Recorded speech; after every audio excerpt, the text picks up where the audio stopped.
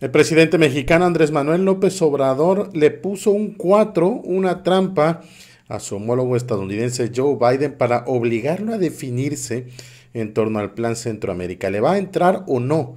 Porque finalmente el estadounidense estaba en el sillón tranquilamente muy fresco viendo cómo México le detenía a los migrantes sin ir más allá en la política migratoria, en los esfuerzos estadounidenses en el tema social. Aquí veremos esta situación, incluido un llamado que le hacía el presidente, emplazando el presidente AMLO a los Estados Unidos a resolver ya este tema. Biden, Biden no puede con el asunto migratorio.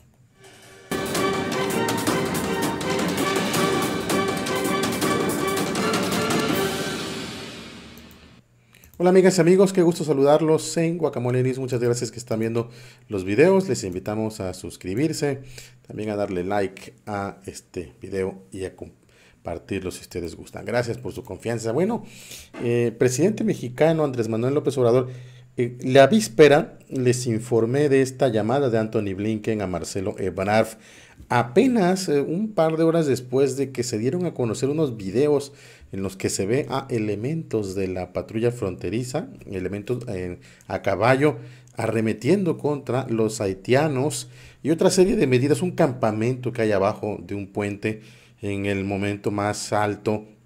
Habían ahí unas 14 mil personas más o menos, eh, se llegó a mencionar. Apenas este miércoles 22, Greg Abbott, el gobernador de Texas, ha mandado una serie de patrullas a bloquear el paso. En fin, toda una situación que ha llegado a los medios, sobre todo este tema de los caballos. En, mi otro canal, en Antonio B. Villamil, ahí pueden encontrar ustedes eh, un video más amplio con, los videos de lo que ocurrió. Pero finalmente Blinken le marca a Ebrard, que es un video que les, les hice el día del el 21 de septiembre, la víspera, el martes, eh, le marca a Ebrard. Y la... Eh, por la noche, discutiendo con algunos, algunas personas en Twitter, más o menos comentaba precisamente que eh, lo raro era que hubiesen llegado tantos haitianos en, la, segunda semana de septiembre sin que las autoridades mexicanas hubieran intervenido. Y esto solo indicaba dos cosas. El presidente mexicano estaba informado, estaba acerca de que la CEGOP, que es la, la, que ve el tema migratorio, los había dejado pasar, o el nuevo secretario de Gobernación, Adán Augusto López, había tomado la iniciativa de dejar pasar a los haitianos sin control alguno, lo que mostraría impericia. Es en la mañanera de este jueves, el presidente López Obrador daba ya indicios de que pues fue una decisión de él, o por lo menos Ahorita lo veremos bien.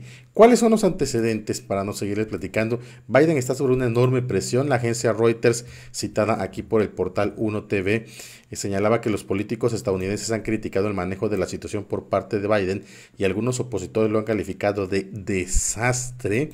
Las autoridades estadounidenses ordenaron una investigación sobre este incidente de los agentes fronterizos montados. Las fotografías provocaron enojo y la administración de Biden comunicó que los agentes habían sido retirados de sus funciones porque se estaba informando que México y Estados Unidos aceleraron este miércoles su agenda de deportación de migrantes haitianos. Esa es la realidad, eh, porque Biden está muy presionado, están acelerando el asunto. También la agencia eh, Reuters y también la agencia AP, citada por Al Jazeera, señalaba que algunos haitianos fueron liberados en los Estados Unidos y se les permitió continuar con sus casos de inmigración, según la agencia AP el martes, citando a dos funcionarios estadounidenses no identificados, socavando las declaraciones públicas de la administración Biden de que los miles en el campamento enfrentaban la expulsión, inmediata. Otros migrantes han decidido quedarse en Ciudad Acuña, en el lado mexicano de la frontera, frente a Del Río, debido a la escasez de alimentos y otras malas condiciones en el campamento estadounidense. Es decir, los soltaron, la administración estadounidense tuvo que salir y decir, a ver, déjalos ir, porque está el, el manejo mediático es terrible, impresionante. También este, y ya por eso es que ya se informa esta situación de que Estados Unidos y México están sacando a los migrantes haitianos de la frontera a medida que aumenta la presión sobre Biden. También político informaba que México ha transportado haitianos desde un área remota en, el, de desde Ciudad Acuña, México comenzó a transportar en autobús a los migrantes haitianos lejos de la frontera de Estados Unidos. Se los están llevando, ahora sí México se los está llevando. Eh, decía también la agencia AP en este reporte que el martes México voló el primer avión lleno de migrantes desde Piedras Negras, río abajo de Ciudad Acuña, hasta Villahermosa, Tabasco, en la frontera sur, y se esperaban más vuelos incluso a Tapachula, cerca de la frontera con Guatemala. ¿Qué ocurrió? Y esto es importante eh, comentarlo. Fíjense que la noche eh, del 21 de, de septiembre, el martes, Ciro Gómez Leiva, que ha sido un periodista, cercano mucho a Dan Augusto López, lo defendió a ultranza cuando fue gobernador de Tabasco y le tocaron eh, represiones terribles contra campesinos, contra indígenas, contra amas de casa que hizo a Dan Augusto López. Eh, la verdad es que en el caso tabasqueño fueron muy represivos, muy, muy represivos. Y Ciro siempre salía en defensa de ellos. Por eso llamaba mucho en, la en defensa de Dan Augusto López. Por eso llamaba mucho que eh, Ciro comentara lo siguiente en su noticiero el martes en la noche que estos miles de migrantes habían podido salir, habían podido salir desde Tapachula, desde, la, desde Chiapas y atravesar todo el país gracias a este documento, decía él. Lo han hecho con este documento que está en pantalla. Es un documento, un oficio de salida que expidió la Secretaría de Gobernación a través del Instituto Nacional de Migración.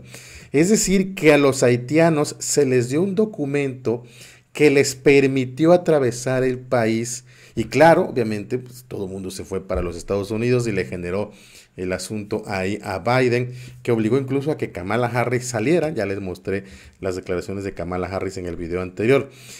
Adán Augusto lo hizo esto solito porque quiso, por impericia al llegar a la CEGOP o lo hizo porque había eh, una, una, instrucción o un conocimiento del presidente López Obrador.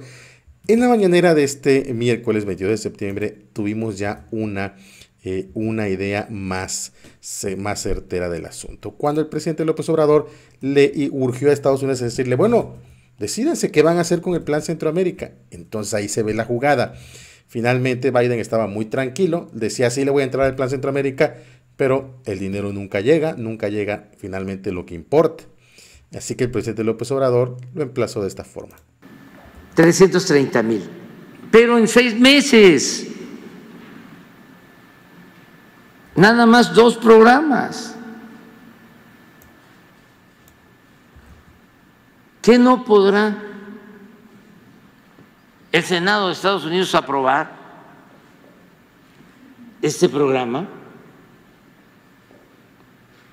o se van a llevar eh, estudiándolo un año.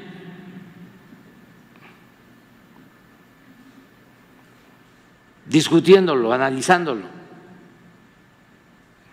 No creo que nos ganen a nosotros en eso. Aquí este el elefante camina, aunque está todavía reumático y nos cuesta trabajo empujarlo. Presidente López Obrador, la crítica a los estadounidenses, bueno, porque finalmente Biden dice sí, sí, pero no dice cuándo, y entonces se deja ver que finalmente cuando el, tema haitiano generó problemas a la 4T, recordemos aquella imagen de un agente de migración con el pie ahí sobre un haitiano, esto generó un problema también para déjalos pasar que lleguen allá, que, finalmente Biden pues haga lo que tiene que hacer, le entre al asunto o diga qué piensa hacer, pero que deje de estar promesas y promesas. Una, jugada interesante del propio presidente López Obrador. Claro, ahora, como, se di, como ya se informaba en los inicios de este video, ya está México otra vez sacando a los haitianos, volviéndolos a regresar a Chiapas. Pero ya le metiste su lleguesín, ya su acalambrada.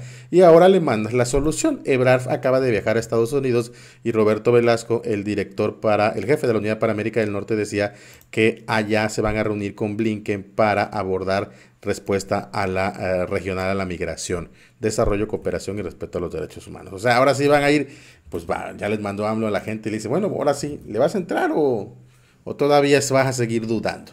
Gracias por estar en este canal, por ver estos videos.